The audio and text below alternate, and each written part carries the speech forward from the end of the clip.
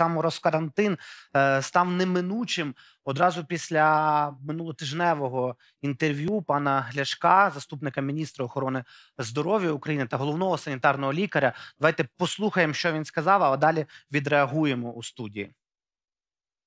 Ми коли закривали в свій час парки, закривали, роз, робили там е, оприскування доріг. Це знову ж таки було питання не стільки впливу на епідеміологічний процес, скільки на психологічний процес. Закриття парків немає відчуття такого, що все безпечно. Люди е, більше психологічно готувались до того, щоб треба Зайти в цей карантин. Відчуття тривоги, відчуття так? тривоги, так. І це поєднані. Бо я коли аналізував з самого початку ті заходи, які впроваджувалися е, в Китайській Народній Республіці, потім в Італії, також зі сторони точки епідеміології думав, а навіщо вони це роблять? Ну, якщо це карпалинна інфекція, вона не впливає там, наприклад, ці шляхи передачі. Потім, коли розпочинали аналізувати, розпочали спілкуватися через послів з епідеміологами, вони розповідали, що люди не бачать це не, не, не бач, невидима інфекція. Mm-hmm. Так треба, щоб створити психологічний якийсь ефект, і завдяки цьому психологічному ефекту і е, е, відбувалося і в людей з'явилося відчуття небезпеки і необхідність дотримання карантинних заходів, які запроваджувались урядом.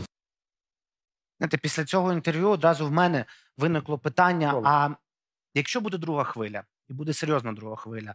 Як влада буде змушувати людей їй повірити? Це також важливий аспект, про який зокрема будемо говорити. Давайте долучимо пана Борислава Березу е, до нашого до нашої розмови. Він з нами на скайпі. Пане Борислав, ну от ми зараз аналізуємо дії влади під час карантину, і от е, цей вихід з карантину, самовільний, несамовільний, але влада також підштовхувала цього виходу. Як ви оціните останні події? Чи немає у вас відчуття, що ну щось нелогічно, як мінімум? Аналогічно саме тому, що спочатку кажуть, що все погано, а потім закривають очі на те, що відбувається.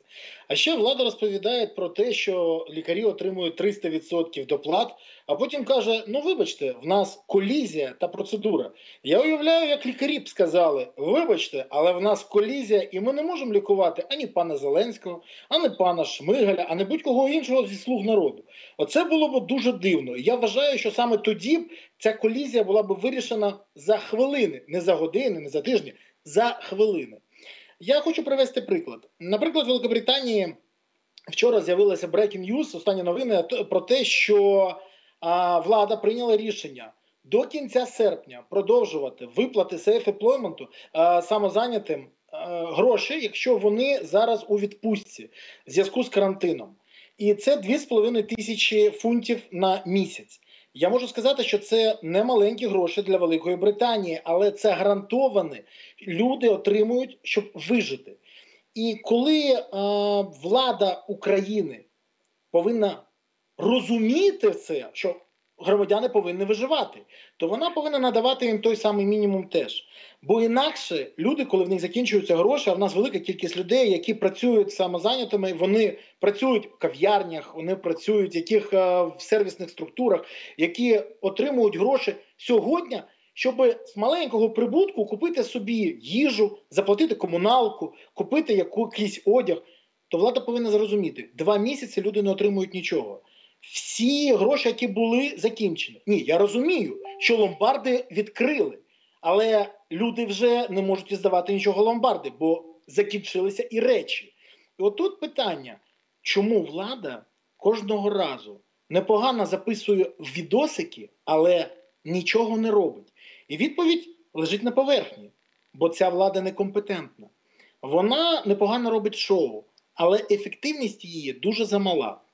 І коли я побачив е, позавчора а вибачте, вчора прем'єра в Верховній Раді, якого майже шмагають запитаннями, і він не може нічого відповісти. І він каже: Ну я не знаю, що вам сказати. То це каже тільки про одне, що ці люди не на своєму місці.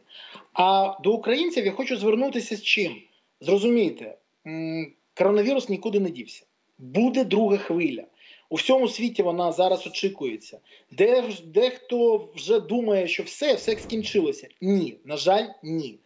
І розуміючи, в якому стані зараз медична система України, я хочу сказати: зменшуйте можливість е, бути інфікованими, менш комунікуйте і зрозумійте, влада в нас некомпетентна, але ваше життя у ваших руках.